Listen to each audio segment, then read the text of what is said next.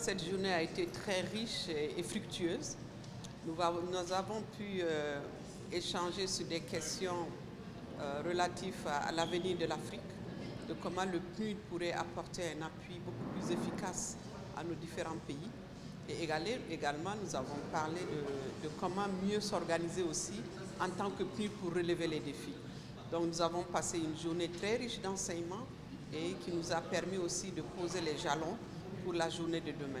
Alors ce défi euh, représente euh, les objectifs euh, de développement durable numéro 1, qui sont des objectifs beaucoup plus ambitieux par rapport aux objectifs passés et qui veut que cette fois-ci nous puissions éliminer complètement la pauvreté dans le monde.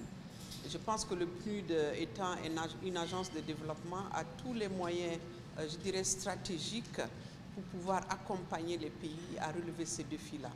Donc euh, le PNUD en tant que, je dirais, agence euh, de conseil accompagnera les pays à, vraiment prendre les bonnes décisions, les bonnes politiques pour pouvoir construire sur les acquis euh, des, OMD afin de bâtir cette lutte contre la pauvreté qui devrait toucher la majorité de la population vulnérable.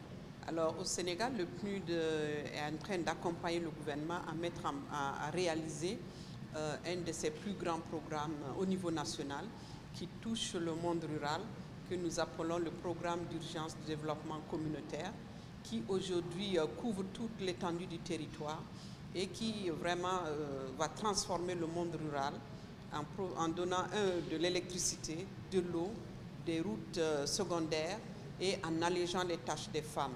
Et je pense que ce programme de grande envergure va contribuer réellement à donner de l'espoir au monde rural et à transformer les vies des populations.